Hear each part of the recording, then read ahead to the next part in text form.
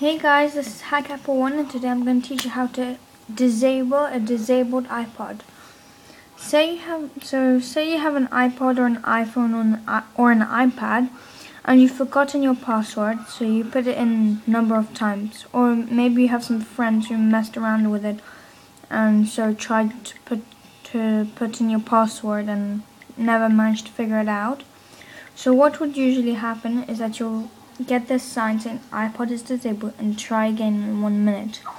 And if you try again in that one minute and you still don't manage to do to uh, get in the right code, the minutes they'll get bigger and bigger. So sometimes on YouTube can you can even see that there are iPods which are locked down for like 40 years. So that really sucks. So I found a way, first of all, how to get through past this disabled, but still not get through the iPod part, through the no password stage. So, first of all, if you know your password but it's just some friends who've been messing around or you've been messing around in it, just simply plug in your iPod into iTunes. Wait for your iPod to be recognized by, in, by iTunes. And once there, cancel this syncing process. And there we go. You can try again. Or you can let your friends try again. See? Probably another few more tries and it will get disabled again. So, if it's disabled again, this this is what you're going to want to do. You simply just restore your iPod. So, let's go into the iPod. Click. And just click restore. Or look, I found something. Okay, and now you don't want to back it up because really no point, so click restore. There we go. And so the only con about restoring your iPod is the fact that you'll lose all your music and all your data. And you do not want to back it up because otherwise it'll just come back with a password. So really this is your only option unless you miraculously remember your password. So all we have to do now is just wait a bit for the iPod to be restored. So I'm just gonna wait down there till it's done. So yeah. And sometimes I don't know if this is, has ever happened to you, but it usually happens to me you'll see that at one point when it's restoring, it will just get to the very end and it will not go to the very end and it'll just get stuck there. So that really, really sucks. So yeah.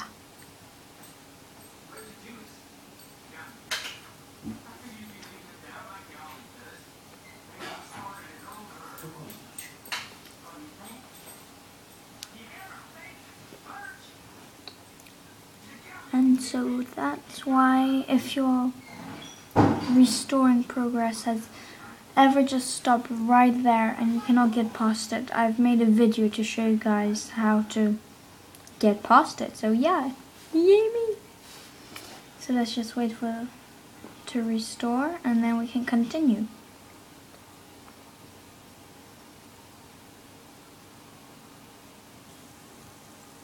So this process should really not take too long and the cool thing about it is that the moment you're done with it, even if it takes maybe like a few minutes, whoops, ah, oh, wait, let me just, because I dropped my thing.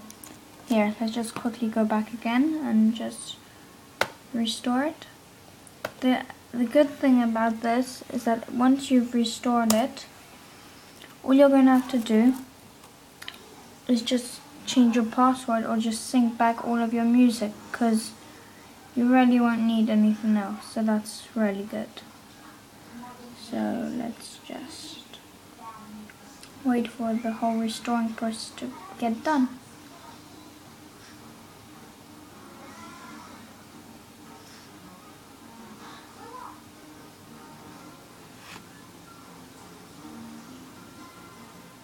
I actually don't know why there was an error so that's not very normal but I'm probably gonna have to redo my whole iTunes, like reinstall it because I don't know why, but with the Macs just doesn't work, and that's It's really annoying actually. So yeah.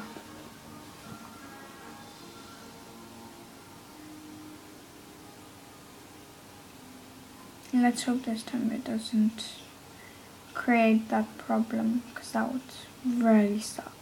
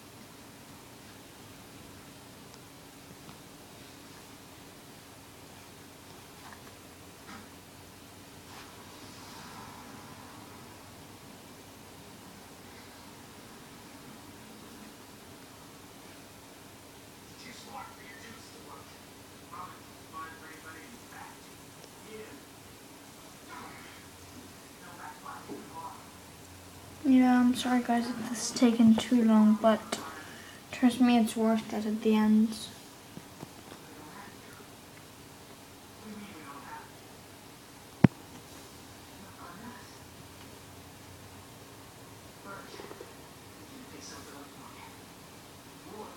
I don't know what's wrong with my iPod camera, but look, this is incredibly strange and weird. Look, the moment I push the iPod, in the camera's view, look what happens. The whole screen just brightens. And when I take it out, it goes back. It's like some sort of reaction. So that's why if you go like that, you see it's only from the right side. If I go like that.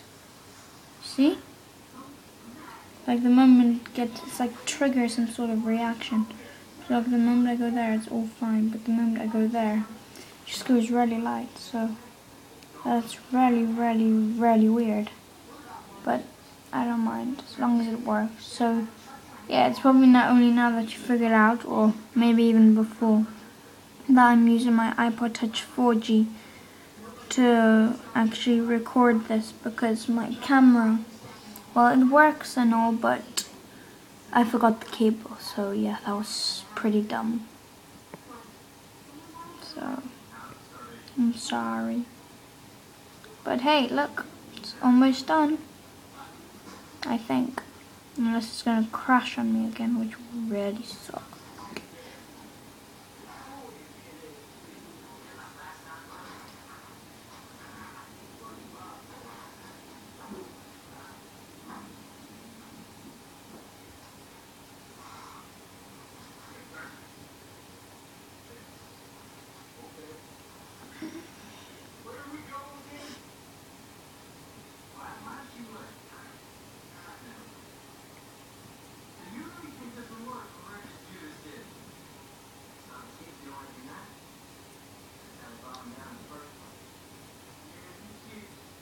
Okay, now we're going to start getting to the interesting parts. Now, just says that my iPod is going to reboot.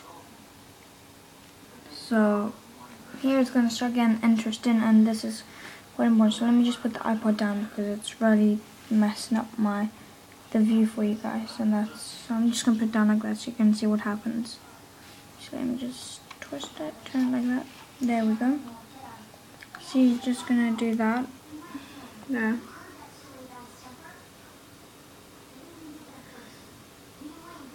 Just gonna quickly boot up and then you'll see the iTunes logo going into the Apple, meaning that you have, it has to be connected to iTunes to be able to restore or something like that. So yeah.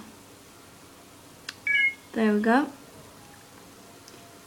Now it's to be seen in iTunes and this is where you want to get things done. So let's access in iTunes. So here, you definitely do not want to restore it. So no, definitely not. You want to set it as a new iPod. Okay? It's very important. Because then you won't have a password. So you press continue. Then put any name you want. So I'm going to put Jin Jin. Don't know why it sounds funny, but yeah. Jin Jin.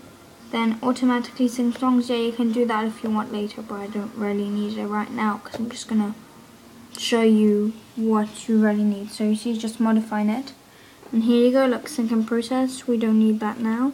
Look at this, watch. There we go, no password, see? And then you can change your password, you see? I didn't modify anything since you saw that I didn't press pause. But you see, slide to unlock.